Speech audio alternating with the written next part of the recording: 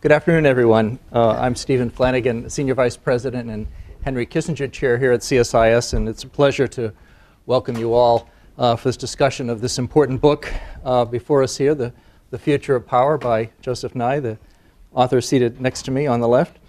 Um, first of all, the obligatory uh, admonition, please. Uh, we'd ask you to, we are recording this for posterity on the CSIS website. please turn off all electronics so we don't interfere with the cordless mic system up here. Uh, it's a pleasure to have uh, both Professor Nye and, and two members of the Center's extended family with us here this afternoon to, to talk about this book, which is already uh, gaining uh, a considerable amount of attention, uh, particularly in the midst of all the discussion of American decline and, and uh, dealing with the rise of the rest of India, China, and Brazil, and all those who want to say in global governance. But also, I think it's very relevant, as you, if those of you have had a chance to look at it, to consideration on the limits of the power of the United States and other countries in recent days in dealing with the events unfolding in Egypt. Uh, back at the CSIS board dinner in November, our president, John Hamre, who regrets he couldn't be with us today, uh, offered to host this event. We thought it would be interesting to have two of our prominent affiliates of the center, uh, former senior officials, uh, one with diplomatic and security background and the other with an economics and trade background to, to comment on this book. And so we uh, fortunately have a very wise and distinguished uh, group, an extended family here at CSIS, and so we're delighted that uh, both Ambassadors Hill and, Hills and, and Pickering uh, were able to join us today. Now, none of our speakers really need much of an introduction, uh, but I will do one briefly. Uh, you do have a full bios in, in your handouts, but as you know, first of all, our, our author today, Professor Joseph S. Nye, is University Distinguished Service Professor uh, and former Dean of the Kennedy School of Government at Harvard, where, of course, he has taught uh, for, uh, since 1964. Uh, he's served as, uh, in a number of positions in government as Assistant Secretary of Defense for International Security Affairs, as Chairman of the National Intelligence Council, uh, Deputy Undersecretary of State. He's the author of uh, at least a dozen books and editor of many, many more, uh, including the 2000 and author of the uh, also the 2004 novel *The Power Game*. Another on that's he's on this power theme, as you can see. Uh, that was uh, uh, set in Washington and, and and a little more dramatic than than this book. But but this book is really quite a capstone work, as you'll see. those of you who've had a chance to to read it and know of, of Professor Nye's other other work in this area as as one of the leading theorists and, and, and uh, analysts of, of the nature of power in world politics. Um, next, uh, we're going to Ambassador Carla Hills, uh, who is chairman and CEO of Hills and Company. Uh, she also, in terms of our own governance here, she is, serves as a CSIS counselor and trustee and co-chair of our advisory uh, board. Ambassador Hill has had, Hills has had a distinguished uh, career in business and government having served uh, as both uh, as U.S. Trade Representative in the administrations of, administration of President uh, George H.W. Bush and as Secretary of Housing and Urban Development and Assistant Attorney General during the Ford administration. She remains very active in a number of nonprofit boards uh, and is also chair of the National Committee on U.S. China Relations and of the Inter American Dialogue. And last but not least, certainly uh, Ambassador Thomas Pickering, uh, Vice Chair of Hills and Company. This was this was a coincidence, not a, not a plan. We, we didn't we didn't mean to keep this completely in the family or in the in the same company, but. Uh, but uh, he is uh, also, we're quite happy to say, also a distinguished advisor to the center. One of the country's most uh, respected diplomats, he's served as Undersecretary of State for Political Affairs and as U.S. Ambassador to the Russian Federation, India, Israel, El Salvador, Nigeria, and Jordan. Um, he uh, also was, of course, U.S. representative to the United Nations, uh, an ambassador, uh, where he led the effort to build a coalition uh, during the uh, during the the Gulf War, uh, during and after the Gulf War, frankly. And he's also held a number of other senior diplomatic posts, of course, in in the State Department and overseas. And after retiring from the State Department, Ambassador Pickering joined the Boeing Company as senior vice president for international affairs, and he too remains very active on a number of of, uh, of nonprofit boards. So we've asked Professor Nye to open uh, with a, uh, a, brief overview of some of the key findings of his book. I'll then turn uh, to, to uh, Ambassador Hills and Ambassador Pickering for some comments. We may have a little bit of crosstalk among the panel briefly, but I know there'll be a lot of questions and, and des desire for dialogue with the audience, and so we'll try to get to that directly. Uh, we have uh, about, uh, we can go till about 5.15, and then immediately after there will be, uh, books will be available for purchase and signing with Professor Nye uh, in, the, in the back of the room. So with that, let me uh, turn the floor over to Professor Joseph S. Nye, and welcome back to CSIS. Well, thank you very much, Steve. Oh, I guess I Oh, yes, you need to on, turn right, yeah. Slight Sorry. technical problem. Sorry. There it is. Uh, Thanks, Steve. And I want to uh, thank CSIS for, for hosting this. And I will try to uh, uh, keep my remarks relatively brief. Uh, basically, the questions, the comments from my two friends and panelists, co-panelists, and the questions will be the most interesting part. So I'll try to summarize uh, uh, in a very short time uh, or space some broad arguments. The book summarizes uh, work that I've been doing for about 20 years on how to think about power, but it tries to extend it and push it forward into the 21st century. So it gets into chapter on cyber power and, and other things about American decline and so forth. Basically, the argument is that there are two large shifts going on in power in the 21st century. One is what I call power transition, which is largely from west to east, and the other is power diffusion, which is from all governments and states, whether eastern or western, to non state actors. And I think those are going to color the context of American foreign policy uh, for the next uh, few decades. Now, power transition is sometimes called the rise of Asia, but it's really the return of Asia. I mean, if you look at the world in 1800, you'll find that Asia is more than half the world's population and more than half the world's product. By 1900, that's down to just 20 percent. And what we're seeing in the 21st century is a return to what you might call the more normal proportions. It starts with Japan, goes to Korea, now it's China, India will be coming along. Uh, and this is a major transition. The world has seen transitions like this in the past. The question is how we're going to manage this. But the other aspect of power shift in this century is power diffusion from states to non state actors. And that is something we don't know much about. We haven't experienced that before. And one way of thinking about it is technology is putting information into the hands of people in ways that it's never done before. Yes, there have been information revolutions in the past. Uh, just think back to Gutenberg and the Protestant Reformation, but never as fast or as broad based as this. Uh, one way to think about this is that yes, you could have instantaneous communication around the world uh, in 1970, for example, but you had to be pretty rich or power or have a big budget to be able to do it. Now anybody can do it if you have the price of entry into an internet cafe.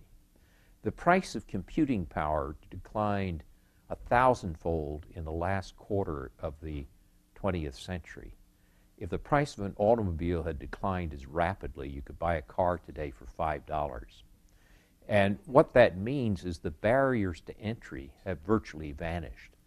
It's not that governments are no longer the most important actors on the stage, it's just the stage is much more crowded.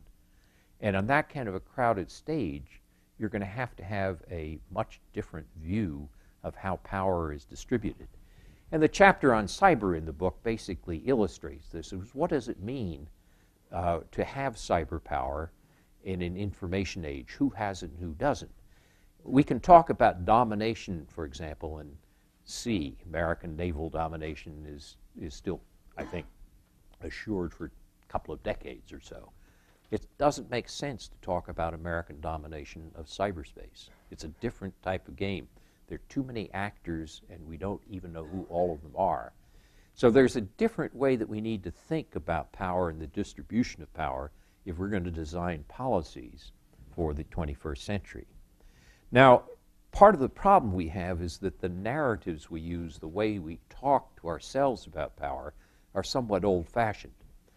Uh, for example, A.J.P. Taylor, the great British historian who wrote about power in the 19th century in Europe, uh, had a wonderful phrase. He said, The mark of a great power was the ability to prevail in war. But that remains important, but it's not the whole story.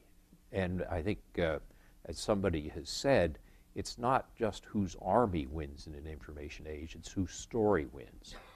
And that ability to think about narrative and story as well as military power is a crucial part of what it will mean to wield power in this century. Uh, I've called this uh, hard and soft power, but it's the combination and smart power that's going to be crucial for effective strategies. It's always interested me to see Chinese pick this up. Hu Jintao told the uh, 17th Party Congress in 2007 that China needed to increase in its soft power. That's a smart strategy if you're a country whose hard power is growing economically and militarily, and you know you're going to frighten your neighbors and therefore create coalitions against you. But if you can develop your soft power at the same time, you're less likely to develop those coalitions. And so I think Hu, when he described this, was on the right track. The problem is the Chinese have a great difficulty in implementing it. All these investments in the Beijing Olympics and other such things are terrific, and then they go and throw Liu Xiaobo in jail and undercut the billions of dollars they're spending on Confucius Institutes and world broadcasts by Xinhua and so forth. So I think one of the things we need to do is to think more clearly about what power looks like, how do you use it, and how do you combine hard and soft power effectively. Now, I'm, when, we, when we get into questions, I'm sure we'll get into a lot of Egypt and the Middle East today, so I'm not going to talk about that now. But I think the major point is that Egypt is a great example of power diffusion. The more power, there are more people with information, the power information conveys than ever before. So let me take a little time, though, on the other aspect, which is power transition, and particularly this view that uh, the Chinese are about to replace the Americans, that the United States is in decline and, and China is the next hegemon. Uh, Gideon Rachman has a, has a, uh, a piece on the front page or front cover of Foreign Policy saying American decline, this time it's real. Uh, the argument in my book is no, it ain't true. That uh, what you're seeing is, in fact, the, the rise of the rest. The Americans will not have the same preeminence as a share of world product that it had in the past. It's very hard for me, though, to think that the Americans aren't going to remain the largest power for the next 20 or 30 years. Uh, it's true that if you look at Goldman Sachs, they'll tell you that China is going to equal the U.S. in GDP by 2027. The Economist says it might even be sooner than that. That's plausible in the following sense. If you have 1.3 billion people and you're growing at 10% a year, sooner or later, that's going to be an economy as large or larger than the U.S. The problem, though, with that kind of projection is not only that it's linear and doesn't accept the fact that sometimes history has accidents and bumps along the path. But it also is taking one measure of power, economic power, and one measure of economic power, which is GDP, and assuming that that's the measure of all power. In fact, if you think about it, uh, GDP per capita is a much better measure of power. It's a better measure of the sophistication of an economy. And if you look at, at when China equals the U.S. in total GDP, let's call it 2025, it doesn't matter what number you pick, it's not equal to the American economy overall. In per capita income, China is not likely to equal the U.S. in per capita income until well into the century, probably 2040, 2050 or so. So even on the economic measure, people are, are I think, misinterpreting this, this uh, uh, rise of China as a decline of the U.S. or overtaking the U.S. But it also is interesting that when people look at this rise of Chinese power, that they focus on this one dimension and they neglect military and economic power. And the book has a chapter on military, economic, and soft power and how those are affected by the information age. In military power, I really can't see China equaling the U.S. for another 20 or so years.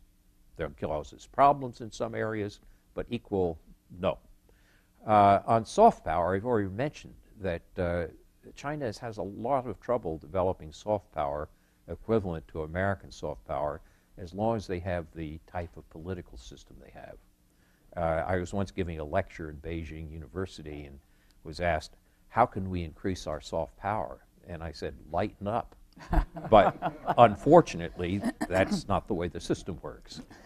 And uh, uh, it's interesting if you look at, uh, at uh, the Chicago Council uh, on Global Affairs polls, it shows the Americans are still well ahead on soft power, even in Asia, than, than China is, despite the major Chinese investments. Now, you could say, so what? Why, why worry about this? Uh, about whether people are correctly or incorrectly perceiving American decline.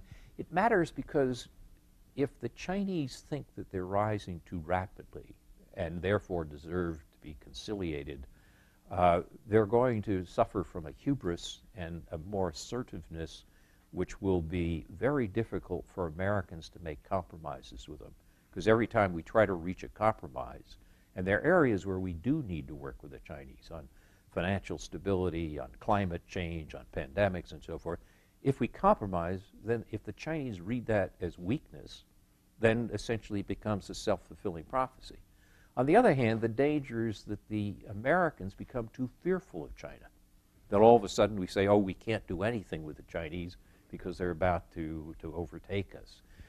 I think the, uh, you know, there is this famous uh, saying of Thucydides about the, about the cause of the Peloponnesian War was the rise in the power of Athens and the fear it created in Sparta, and that World War I was the rise in the power of Germany and the fear it created in Britain. And there's some people who say that will be the story of the 21st century, that the rise in the power of China and the fear it creates in the United States will lead to a great conflict. It's bad history. It's bad history for a couple of reasons. One is Germany had passed Britain in economic production by 1900. I just tried to argue with you China is not about to pass the United States for another couple of decades in per capita income. It's also bad history in the sense that it implies that we can't manage this. This is something we can manage. And it's, uh, you know, if you say, how do you manage a policy with a country like China?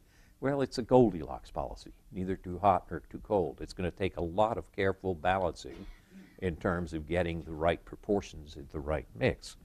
But it's important because if we don't do this, we're going to be in a much more difficult situation than we need to be in terms of Asia. The key, I think, on this is to realize that power, and I try to argue this in the book, power is not just power over others, it's also power with others. There's some things that we want where, as others develop their capacities, we benefit as well. This is particularly true in the economic areas, which are non zero sum. It's true in dealing with climate and other such things. And the reason the Americans, I think, are going to be well placed to deal with this if we don't lose our head and become more too fearful about decline is there's no country that's quite as good at borrowing from the whole world making networks the whole world and maintaining alliances. I can't see any other country as well placed as we will be to do that. So if we don't succumb to too much fear, if we keep a sense of balance of using hard and soft power in a smart combination, I think the United States will be able to deal with these two great power shifts of the 21st century the power transition and the power diffusion uh, so I have a relatively optimistic view of the future in this book. Okay. Thank you very much. Ambassador Hills? Well, thank you, Joe, for writing the book. Uh, I think that uh, you have provided a yes, uh, wonderful framework for understanding how uh, globalization and the development of the internet has dramatically affected the concept and the use of power as we look forward in the 21st century. Uh, you mentioned the shifts that uh, come from globalization, and uh, that's surely true. The West to East movement, uh, no group of countries has benefited more than Asia. You mentioned China, lifting millions of people out of poverty, but it's not just China. We have uh, Indonesia and India and a host of countries throughout the ASEAN region that are very, very different today as a result of participating in global markets. And then the capacity of non state actors for good and for evil. I mean, you have uh, corporations with supply chains that encircle the globe, entrepreneurs that can have contacts across state lines. Uh, you can uh, have NGOs with members in multiple states. And you can have shadowy figures that are trying to do you in. So uh, the picture is very, very different today, and I think that your reference to yesteryear's uh, focus on military power as the measurement for uh, uh the uh, stature of a state is probably uh, obsolete, and you say that better than any. You know, I think of you as being sort of a master chess player, and you are writing a manual that uh, uh, for three-dimensional chess that deals with power. And on top of your pyramid is the uh, power to compel change. And right below that is the uh, power to uh, shape an agenda. And at the lower level is the power to influence uh, preferences. And I was asked to just focus a little bit on the economic sphere. And in the top level, I think we would all agree that sanctions would be in the compelling change. Sanctions with the, the muscle to uh, make them effective is one thing. And I enjoyed your uh, chapter on that. Uh, it's true that sanctions don't always work, and many have said that they mainly fail. But as Joe Nye reminds us, pointed to Libya and South Africa, uh, they don't always fail. And that's his top on the pyramid of uh, hard power. The second level of his pyramid uh, in the economic sphere is the power to shape the agenda. And that does require working with a number of players. In the old days, we had the G3, then the G5, then the G7, and then we invited Russia, and it was G8, and then we invited others. And we today are now at the G20. And uh, I would venture to say that uh, with respect to trade and the opening of markets, most governments see that as a positive outcome, particularly with markets with which they are dominant, in which they are dominant. But uh, that doesn't mean that these governments won't try to manipulate the markets, which they do through legislation. Think of Buy America. Regulation, Think of standards that are geared to giving preference to the home team in China. Or uh, just think of old fashioned tariffs uh, that have not been brought down that uh, try to favor uh, the domestic. Uh, and the way we try to moderate this manipulation of the market is through international agreements, such as we have with the World Trade Organization. And again, most governments would rather engage in a rule that moderates the manipulation of others than to be left in the law of the jungle, even though it constrains their opportunities for manipulation. But the diffusion of power and uh, uh, the fact that there are the stage, as you put put it, is uh, very crowded, makes the negotiation of new rules very much more difficult. You know, 20 years ago, we had the organization called the Quad, made up of the United States, Europe, Japan, and Canada. We met once a year, and uh, the rules that we were willing to subscribe to, that was the deal. And that was because we were the largest economies and the largest participants in global trade. So our smaller trading partners had to go along to get along.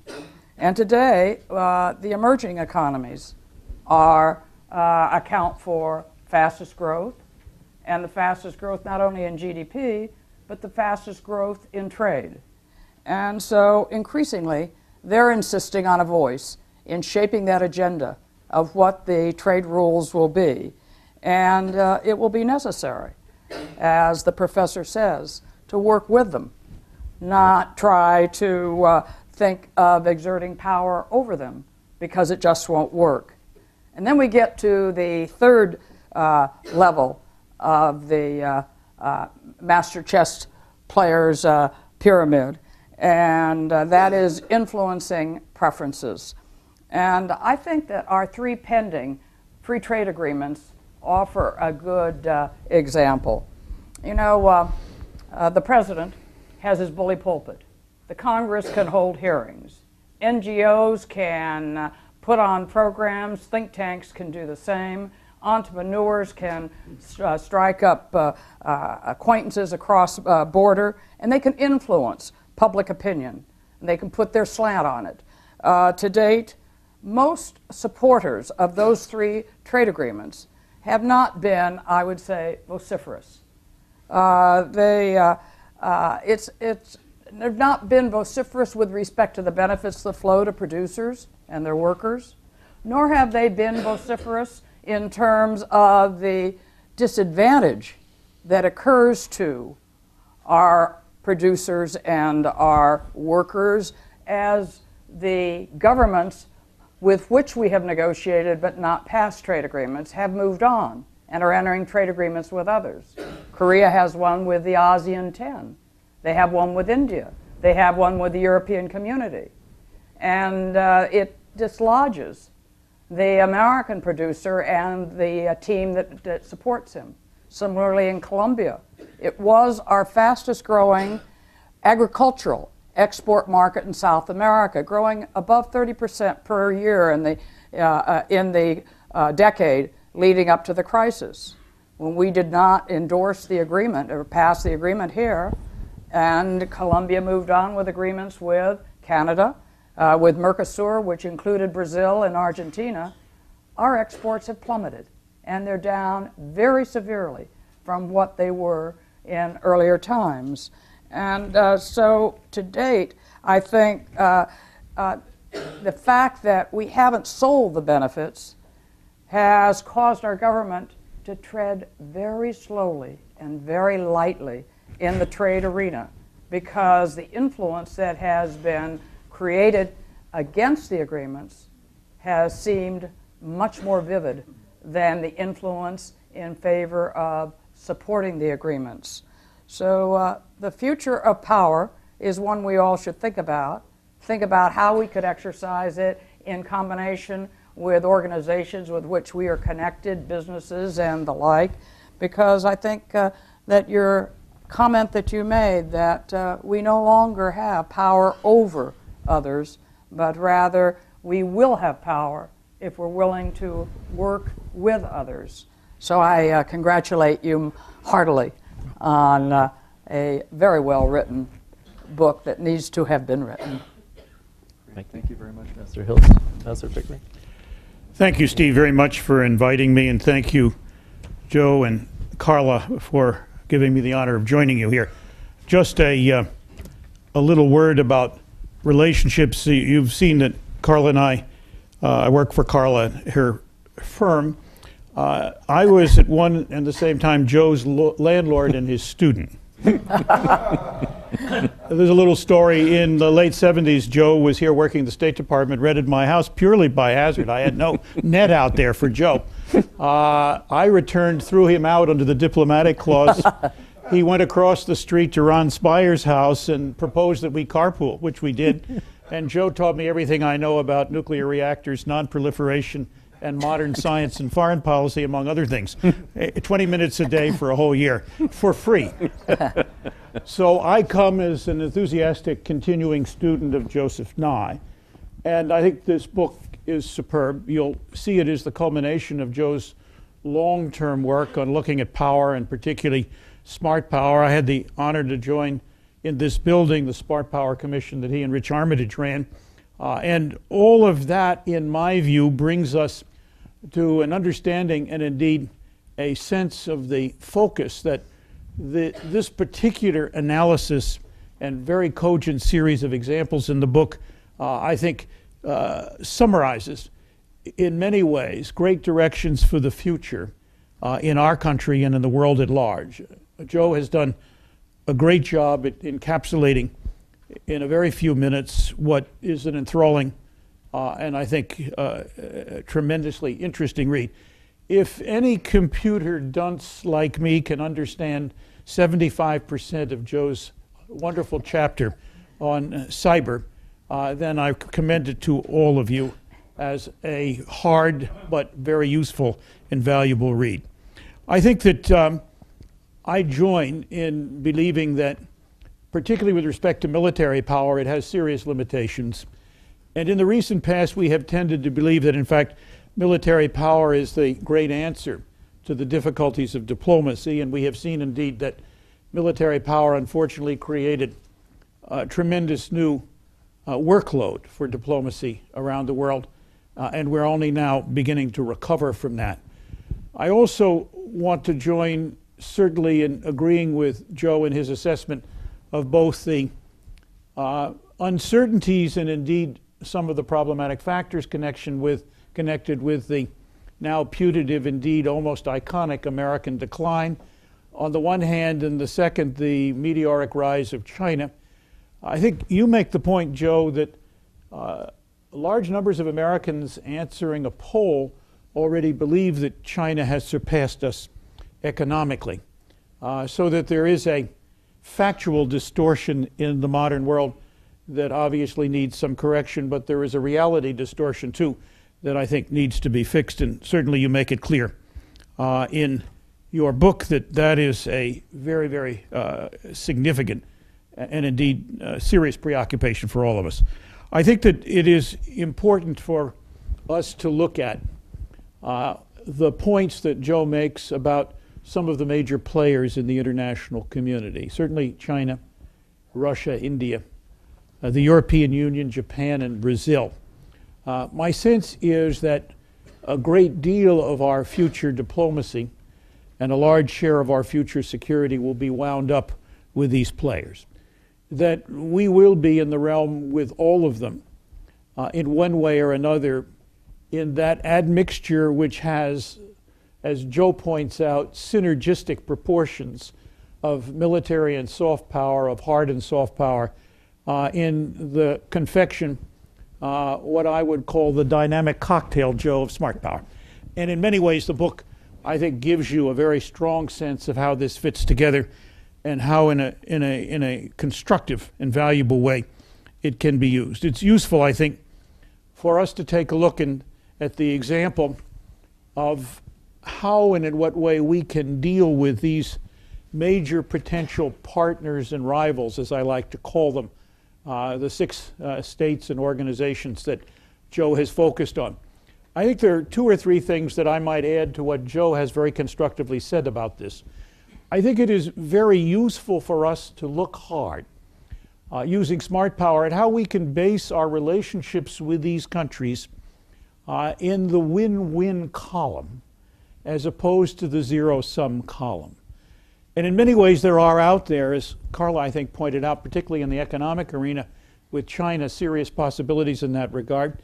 Certainly in the military and strategy, in the military and strategic arena with Russia, there has been. One only has to look, and in fact, at the impetus which New START has given to the reset with Russia which has now led on to the WTO, and there are serious expectations that it may well lead on to cooperation in uh, ballistic missile defense and then many other things uh, that are important aspects of this. I also think that the capacity to set the agenda toward win win means that we have a better capacity jointly and even multilaterally to contain the negatives uh, because each side has a serious interest in obviously exploiting with the other the win win possibility. The very simple, but I think not necessarily totally irrelevant theory of how to move the process ahead. In a more organizational sense with these countries, we have over the years morphed into a pattern of arrangements which in fact is designed both to exploit and further develop smart power. Uh, this is the Presidential Commission. Uh, in some cases, castigated uh, in domestic political questions uh, because it hadn't happened to have been in the past identified with an individual personality. But in many ways, it keeps popping back up. Certainly, in the Bush administration, the strategic economic dialogue with China is a very important example, in my view, of a new set of relationships, certainly elevated uh, to the presidential level, involving serious cabinet participation, an agenda that revolves heavily around critical projects and something in which there is, if I could put it this way, serious adult supervision on both sides when it works well in assuring that there is continued progress and further development. So you have both a new organizational structure and arrangement coming out of the past, as well as a new kind of focus to exploit, in fact, the smart power approach uh, to these kinds of activities. There are many other things that I think one can talk about. I was struck by the chapter on cyber by the question which I posed to Joe before we came into the room Are we ready yet for international agreements in the area of cyber?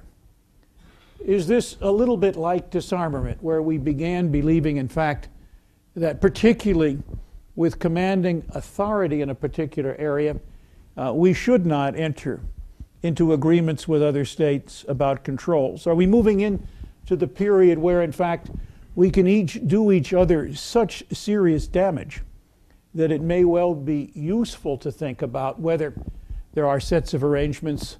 Joe, without stealing all of your thunder, will, will, has certainly told me, well, certainly in the area of criminal activity, this makes some mm-hmm. sense. But I put that out there as one of the many things that this book stirs up in the mind that might well be useful to look at. I will end by only saying there is, in my view, a very large agenda for diplomacy. That in many ways, as an ex diplomat, I would not be here uh, defending that position if I didn't believe otherwise, but certainly I'm a victim here and a product of my own experience. Um, but let me tell you that shortly a group of us will put forward a report.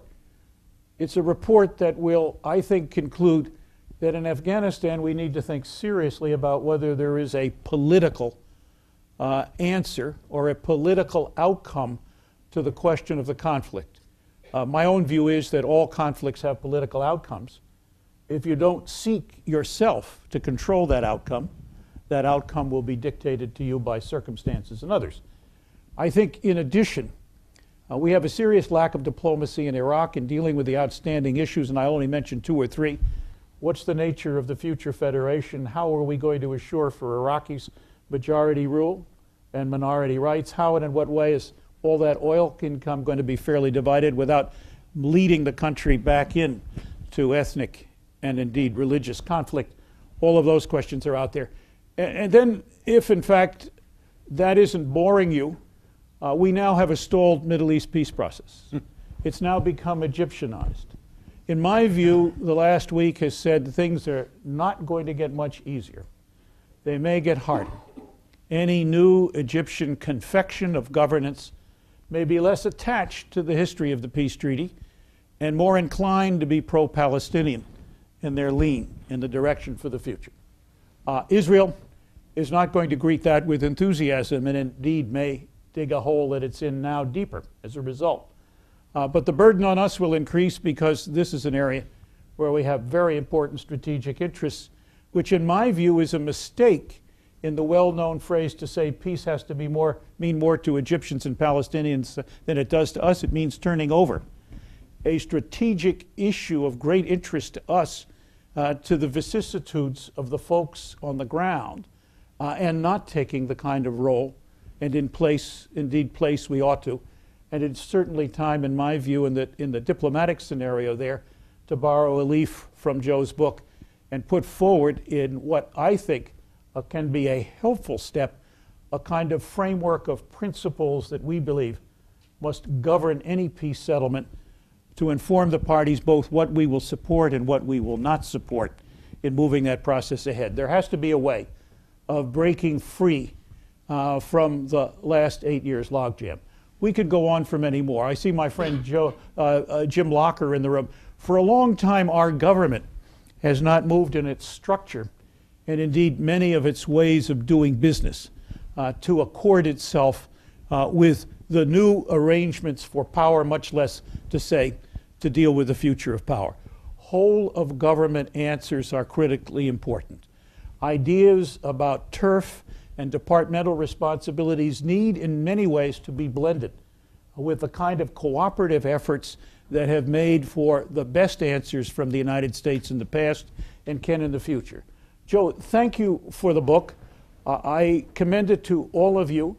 I get no commission on any that you buy, uh, but I think in he owe any many- back rent? uh, nothing. Okay. And in, in- but in many senses, you're here because you're interested in Joe and the book, and I, and I highly commend it to you as, as an informative, interesting, stimulating, and in many ways very rewarding read. Thank you. Great, thank you very much. Thank you very much. Well, be- before, we have about half an hour for discussion, but before turning over the floor uh, for questions, I I do want to, Ambassador Pickering raised a question that I I did want to pose to Professor Nye, uh, and that is that whole question of why has smart power proven so hard in practice to implement? Um, And you touch on it in the last chapter of the book a bit, and and I don't want to preempt, uh, Jim Locke and others may want to ask some of a related question, but clearly we, uh, I remember here, even in this room, uh, in uh, the Alfalfa luncheon uh, uh, three years, four years ago, when uh, Secretary, then Secretary Gates uh, embraced more or less smart power as your commission was still unfolding. Uh, he tried to apply it, and, and I think the, the later stage of the Bush administration, uh, 43, you could argue, was trying to apply it. This administration came in clearly embracing uh, a better balance of the toolkit. But yet, we've seen that it's, it's proven pretty hard to do in practice. And I I know this is a rather macro question, but what do you think some of the big impediments are, uh, Joe, in, in sort of putting smart power into practice? Well, one is inertia. Uh, basically, our bureaucracy is structured in a certain way that it's very hard to turn this super tanker. Even with all Jim Locher's efforts, it's, uh, it's hard to turn. Uh, so you have a situation where the Defense Department is a giant, the rest of the government is pygmies. And it's hard to change that even when you have an enlightened Secretary of Defense like Bob Gates who says we need to invest more in our soft power. But be, beyond and below that is American political culture. It's very hard in American politics to get up and say you should invest more in soft power. Isn't it ironic that Hu Jintao can say that in China, but a congressional friend of mine told me that she agreed with 100%. But anytime you got up on a platform in the U.S. and said, we need to do more on soft power, you're not going to get the votes. And if you don't get the votes, the Congress isn't going to provide the bucks. So those are the two main reasons, I think. Basically, I mean, that's part of the reason for the book. We got to get in our minds as a people a much more sophisticated understanding what power is. Professor, did you- did you say- No? Okay, well, we'll open the floor. I'd ask you just to wait for a microphone, and uh, David Abshire, I see your hand first, and uh, there is a microphone coming to you. Thank you. Joe, I'm in all you write on leadership and you write, write on soft power, and, and I think we need some smart leadership. You and I are involved in Thanks, Steve. incorporating this Foundation for International Understanding. As we look at the, the inversion of people to people, which is not new, the Marshall Plan was to reach people. Uh, the NATO originally, before it became a military alliance, didn't mention the Soviet Union. Uh, the breakthrough at Helsinki and what emerged from the third, and, and the Reagan in the Westminster speech. And we tried to get our Foundation for International Understanding in the, the president's uh, inaugural, we keep trying, and the whole world of not-for-profits is something not understood. I was with a science advisor uh, the White House. They understand this. I, I chair a small foundation compared to the business. We give only to science and education. We have today eight organizations that we're supporting in Pakistan. We're not the biggest supporters. All of them have come in with much larger grants, reaching the people of Pakistan from Se- Seeds for Peace to, to, uh, to, to the um, systems engineer at, uh, that's, that's in the schools of Pakistan and teaching new ways of education. And that world, all of, they could all triple their efforts. They're agile, they're close to the people. They're the opposite of top down, they're bottom up. Petraeus said when he landed with the 101st, if we can't change minds, and 17% of the people of Pakistan favor us, and Secretary Clinton has left half a billion dollars, it's top down. And I think it's amazing that this president, who was elected by this social networking, I spent a day at the interactive studios of Disney, and people coming together, science and education. Now, that, that needs to be unlocked. That what's needed there can be reprogrammed, but deficit neutral. On cyber, it seems to me that in all these areas we need reform measures. That's why your next book has got to be reformist, T.R. Roosevelt. But we need to reinstitute something analogous to the Joint Economics, the Joint Atomic Energy Committee in this cyber world to get together all of these different groups to bring it together in a concerted strategy. But I, I, I think seriously, you've written a wonderful book on leadership. We need smarter leadership. And at these big historic breakthroughs that have thought institutionally how we do it to make strides rather than simply trying to redivert money from part of the budget to another part of the budget to give more to the State Department to really move into these new ways of people to people that we see reflected in, in the streets of, uh, Thank you. uh, of Egypt today. Great, thank you, David. Did- Yeah, David, you and I agree very much on this. In fact, uh, uh, I teach a course on leadership and foreign policy at the Kennedy School, and I look over past presidents. Ironically, the president who stands out best on all this is Dwight Eisenhower. Mm-hmm. The, the, the, the more I study different presidents, the more I realize, even before all these terms were invented, Eisenhower had an intuitive understanding mm-hmm. of it. Yes, there's a couple of questions here in the front row. Um, Gentleman here. and- Professor Nye, I'm Aziz Haniffa, the editor of a newspaper called India Abroad. Reference to your recent article, Asia in the Balance, you start off uh, talking about the fact that uh, the heads of the five permanent members all visited New Delhi, and except for China, which has been a little circumspect, everybody else have endorsed India's bid for its candidacy in the UN Security Council. then you go on to talk about the very sexy issue of China and India and how uh, you know people are writing theses about who is whether it's authoritarian China or democratic India. But you end with the fact that uh, India is not going to be an ally, but perhaps more of a counterweight in terms of China, which seems to be closer to sort of the neoconservative argument.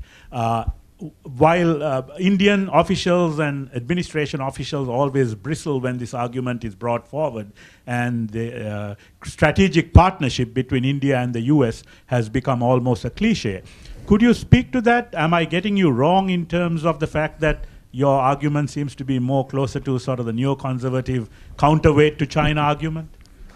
Uh, I think my argument is a little different from that.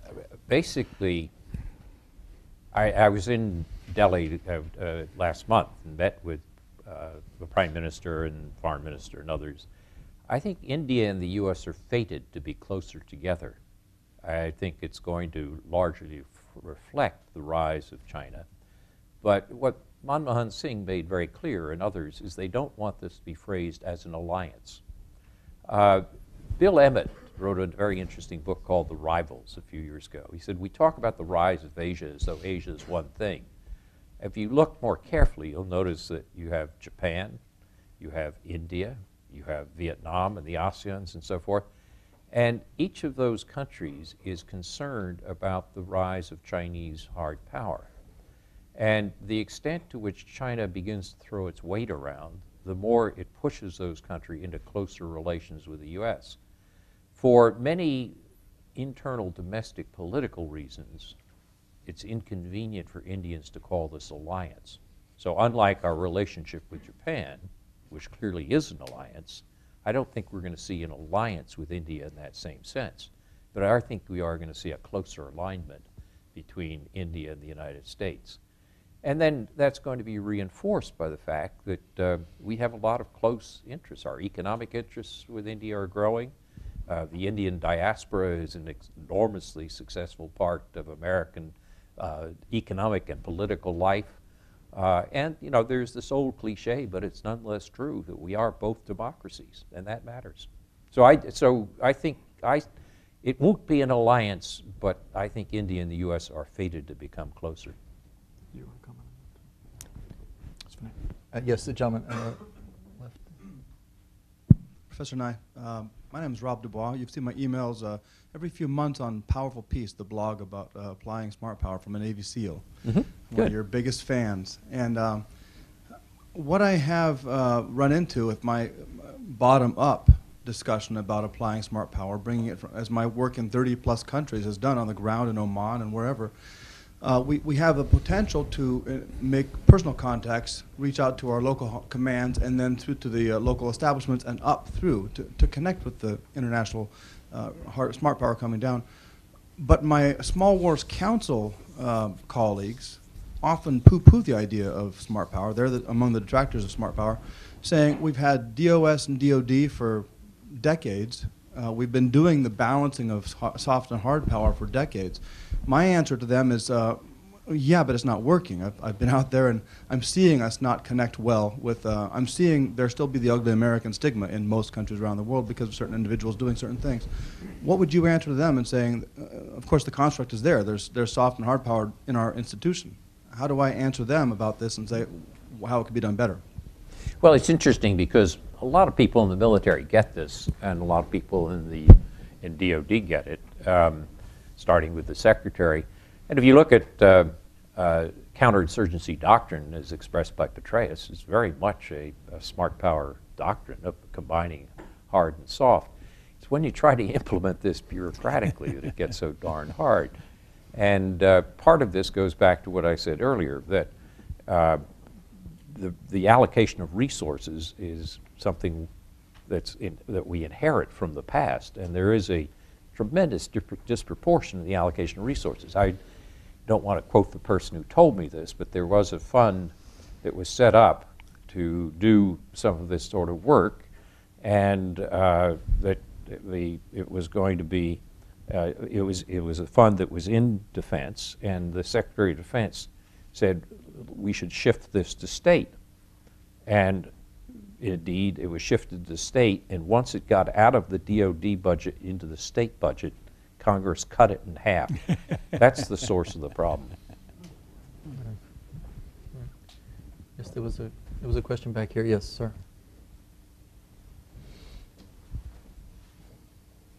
I hate to bring up the uh, the word WikiLeaks, but I'm going to bring it up. Um, when you can have someone disseminate that much information, what they call open diplomacy, um, it changes the power situation altogether, uh, but in a way that we don't know how to deal with yet. What's your suggestion on dealing with something Well, I'm- like WikiLeaks? I'm glad you brought it up because WikiLeaks is a good example of this diffusion of power that I've been talking about in the book. I think we make a great mistake by focusing on Julian Assange. We're, we're building him up as something that he isn't. If it weren't for, if Assange had never been born, this problem would have arisen sooner or later anyway. What it means is instead of focusing on the symptom, which Assange is, we ought to focus on the cause, which is we're going to have to learn to classify less and to deal with systems for maintaining the classified information we have in a much more intelligent way. The idea that we would simply, in the aftermath of 9 11, say sharing means putting state cables into SIPRNet and then not having a way to restrict access within that so that a private in Baghdad didn't have access to some of these cables, totally irrelevant to his job, and that we didn't monitor that, this is sheer incompetence. If this was a bank, as soon as he, if, if as soon as the alleged perpetrator downloaded certain things, his screen would have gone blank and there would have been a sergeant coming in and asking, why are you looking at this? We can do this. We just, we haven't. And instead of that, we're talking about prosecuting Julian Assange and getting us into all problems related to freedom of the press, which shoots ourselves in the foot. We've got to face the fact that, that we have to change our own behavior on handling information. But that's a, it's a longer story, but that's, in case you didn't know, I have strong views on it. Yes, there's uh, another question. Then Walt Slocombe in the back. Could you wait for a mic? I'm sorry. You may not need it, but Congratulations on your book. I'm sure it'll be a great read, and everybody should buy a copy because you get a commission. Um, If you had $20 billion more to spend on soft power, which is approximately the Goldman Sachs bonus pool, what would you spend it on? I think the, I mean, it's nice to have a question from your old boss. Walt's always been at that question. The, uh, I think that you could put a lot more into uh, inter-societal exchanges. In other words, I think the most effective form of this is, is direct contact among peoples. David Abshire has long advocated this. There was, there was a talk about setting up a corporation for public diplomacy. Instead of having it just done with a bureaucracy, we ought to be having more Americans having more contact with people in other countries, and we could provide the funding for that. I think that's a, we do some of this, but I think we could do a lot more. I would put some of it in that. In other words, our great strength is our civil society, and we ought to be having an increase in the contacts of our civil society with others. This is something that China can't do. Uh, I also would like to put some more money into the public diplomacy, which we have, which is not adequately funded. Uh, and I would put some of it into trying to deal with some of the issues that Jim Locher has talked about, of having joint expeditionary uh, diplomacy, if you want to call it that. Uh, so there are a variety of things of that sort. Some of the things that we need to do uh, don't have necessarily large price tags on them. I mean, some of the most important things, in fact, may be done at relatively low levels of cost. But a large portion of the, of the money you suddenly allocated to me, Walt, I would, I would try to fund this. Uh, I don't know, David, what is it now? Is it Corporation for Public Diplomacy or Foundation. that Foundation? Foundation. Foundation, Foundation, sorry, yeah, Committee. yeah. On yeah. the national, Endowment. Tom? Let me just pick up on Walt's question too. I agree with Joe. I wanted to add a little granularity. Uh, Joe, in '79, I participated in negotiating with the Chinese on their access to the United States institutions. And over the years, people tell me there's been 100,000 Chinese who've come here mm. and studied. A lot of them in science, Right. technology, engineering, and math, but beyond that. We've managed, I think, probably less than 10% of that in the other direction. Mm-hmm. I think that that meant, if that's what you meant by China's restriction and failure to do it, then, then I totally agree. I think that in the area of public diplomacy, uh, the notion that that is totally uh, 100% uh, output of information about the U.S. on the airwaves, on the television, and perhaps through the net, uh, maybe should shift a little bit. And my own view is that U.S. centers overseas for years have garnered uh, a great deal of enthusiastic attention, even more English language training. Yep. And it's even more valuable because so much of what's going on internationally depends upon that. I think traditional libraries and new access arrangements to all kinds of data uh, through putting centers in foreign universities that, in a sense, have uh, computer access, uh, made it available to, to, to, to folks. Uh, George Soros invested $100 million in putting the internet in Russia. Uh, we piggybacked in 20 places by putting those kinds of uh, corners in Russian universities in very remote places. All of this very imaginative, I think very much in keeping with what's going on new. I, I totally agree. I think those are the areas. And for, for reasons I don't understand, because the Congress itself appreciates the power of information more than anybody else, uh, we seem to get a, a goose egg every time we look at that particular issue and turn around and, and deal with it. Well, we have at least representative, at least a couple of NGOs here will be happy to have that restri- redistribution of, of resources. Yes, in the back, Tom. Uh, Hi, Natalie Liu here with uh, Voice of America. Professor Nye, you mentioned President Hu Jintao of China has uh, seemed to be quite receptive to the idea of soft power. But is a hard regime inherently uh, capable of projecting soft power? I think there might be, just a minute, there might be a related question here from Doug Paal. Oh, no, uh, not on this? Okay, well, I will, I will embroider All on right. it. Could- Did China just blow 10 years of soft power out the window in the last few months with its behavior on some of the territorial questions of the last few months? I think so. I mean, I, I think the, the, the Chinese, I mean, Hu Jintao and the top Chinese leadership is smart enough to know that soft power is a useful part of their overall strategy for the reasons I gave earlier. But they're trapped by their own authoritarian system in terms of how they do it. Notice in my answer to Walt Slocombe a minute ago, I said our greatest strength is our civil society. And if we're going to put funds into something, don't necessarily make it government directly. Have government help create a foundation so that you have more contacts of civil society. China can't do that because it won't let its civil society go free. That's what I meant earlier when I told, told people if you want to be more successful, lighten up. Look at, look at uh, India and Indian soft power. Bollywood makes more films than Hollywood. China doesn't lack talented actors and actresses and film directors, but they don't lack censors either. And the fact that Chinese films are censored so much means that they can't get that broad mass appeal. So I think China is, I, I think, you know, the, the locking up of Liu Xiaobo and this, this overreaction to the Nobel uh, Committee, I think was China shooting itself in the foot. But even if they hadn't done that, they still are not going to be able to compete in soft power until they begin to change their political system. Thanks. Yes, there's a question here, Doug Paal. Doug Paal from the Carnegie Endowment. Uh, Joe, I wanted to ask you to address the question you raised at the start, uh, that, your views on what's happening in the Middle East and how it relates to your, your book.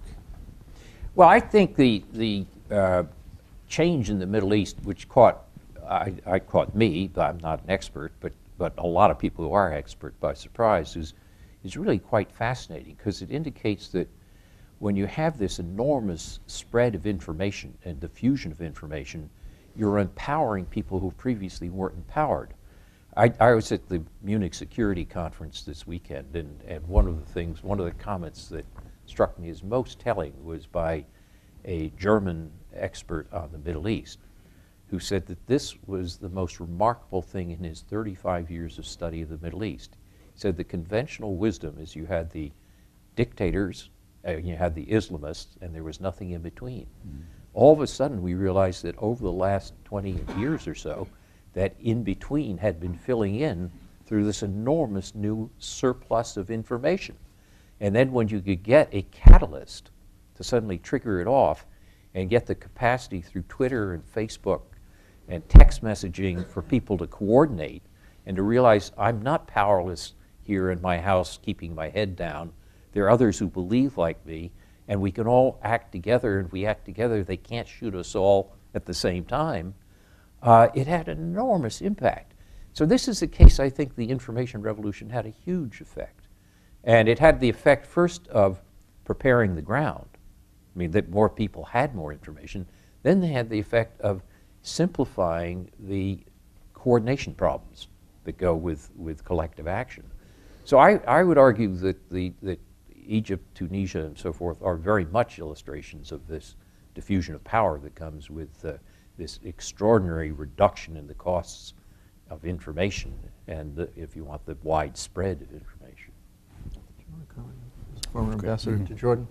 Um, we have time for a few more questions. Well, could I just see it just as anyone else? Uh, I thought I saw another hand out there, but, well, go ahead, sir. I'm sorry. Yes, and could you just tell us who you are, too, by the way? Hugh Grindstaff. Uh, I retired la- last year from National Geographic, but, but uh, the military ties between the Egyptian military and the U.S. military, I think, sort of helped the military be the common effect there in Egypt, and it, it was extraordinary. Could you comment on that, and maybe um, Ambassador Pickering? Well, I, I think that uh, military to military ties are an extraordinary source of American soft power. We sometimes think of military power, and this is something I go into the book, is there are different aspects of military. We sometimes think of kinetic or shooting, that that's military power. Let me tell you that giving a guarantee to another country of its security, as the U.S. does to Japan, is a source of soft power. And training and military to military training programs is another enormous source of soft power for the United States. The fact that we have these ties with militaries, in this case the Egyptian military, means they're people to pick up the phone to, people you can influence, people who can trust you. And uh, so I think I, I've, you know, ever since I worked for Walt, in the Pentagon, and, and uh, uh, looked at this, I was always struck, uh, going back to this question of amount of money, we spend very little on this.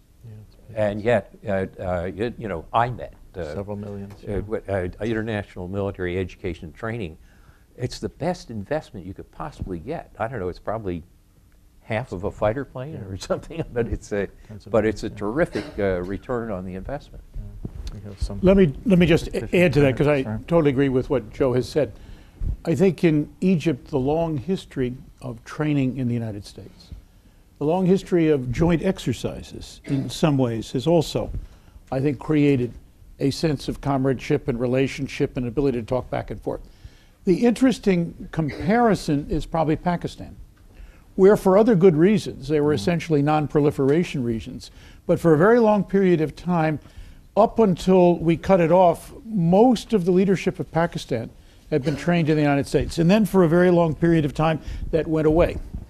Uh, and the recovery is a very hard and very difficult recovery, particularly if they've enjoyed training in other places, China perhaps, uh, or just stayed domestically and absorbed only what was going on inside Pakistan, particularly uh, with the growth, growth of the madrasa movement and with what I would call a serious inward turning in Pakistan's own strategies about its own future, which have heavily affected uh, military outlook. So that comparison is, I think, a very vital one to show you that this is just not a plus, it has minus aspects uh, when it disappears from the scene. And I couldn't agree more. The notion that because it wears a uniform, it's just hard power uh, is, a, is, a, is a serious mistake. I think there is serious hard power in economics that doesn't wear a uniform. And so you have to look at the, uh, I think Joe's book is extremely good at giving you the sense of that. Great. Thank you very much.